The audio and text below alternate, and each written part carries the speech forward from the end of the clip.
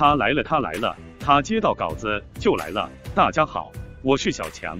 安东尼·戴维斯是联盟顶级巨星，攻防两端实力出众，而且他有一个不错的特质，可以和各种风格的外线球员相匹配。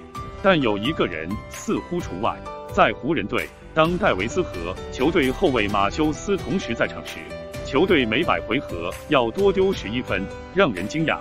马修斯是一位年龄较大的后卫，主要是三 D 风格，擅长投篮以及防守。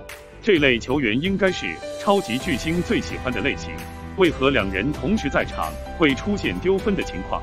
本文为您简要分析一下。先说戴维斯，戴维斯本赛季有二十二加九正三的数据，依然全面。熟悉戴维斯打法的球迷都知道，戴维斯这两个赛季开始转型，从以往的终结者转变为低位进攻者，这需要一个适应过程。戴维斯生涯早期最强的便是他无与伦比的终结能力。他不需要持球进攻，只需要无球跑位，便能获得各式各样的进攻机会。定点投篮、挡拆顺下、二次进攻得分都是他的杀手武器，对手极难限制。但是如果让戴维斯来持球进攻，他的效率就会有所下滑。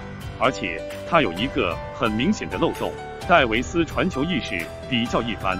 虽然这几个赛季他的助攻次数都在三次左右，但更多是在高位附近的策应。在低位附近，戴维斯一旦被包夹，他的传球效率就会下滑。而马修斯以定点投射为主，不擅长持球进攻。如果戴维斯被包夹，传球质量下滑，他的投射质量也会下滑。再说马修斯，马修斯本赛季场均得分不过五分。但在三分球方面，他表现相当不错，命中率达到百分之四十，场均命中个数超过一个。考虑到他的上场时间，这份数据非常不错。上面提到，马修斯的进攻以定点投射为主，他不具备持球进攻能力。戴维斯从进攻端来说，还是更喜欢和后卫挡拆。由于马修斯不具备这一点，他自然无法给戴维斯太多帮助。两人上场进攻效率会有下滑的趋势。最后一点，我们来聊一聊球队方面的影响。每百回合丢分和球队上场人员有着密不可分的关系。或许马修斯和戴维斯两人之间有不错的化学反应，但湖人其他人会给他们带来一定的影响。比如施罗德占据球权，塔克没有三分，哈雷尔防守太差。如果和这几个人在场，也会影响到两人百回合丢分表现。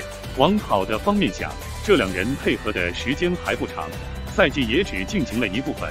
湖人队可以借此进行适当的调配，尽可能减少这两人的上场时间。以马修斯的打法风格来说，他最适合詹姆斯，毕竟詹姆斯的突破分球能力是联盟顶级，在詹姆斯身边打球，射手能得到最好的机会。戴维斯则应该和施罗德一起上场，他优质的挡拆能力可以给戴维斯带来不小的帮助。常规赛是属于湖人磨练阵容的过程，只有找到阵容的最优解，才能让球队在季后赛所向披靡。各位读者朋友们，你们如何认为呢？And，他走了，他走了，右下角点个赞，再走啊，老板。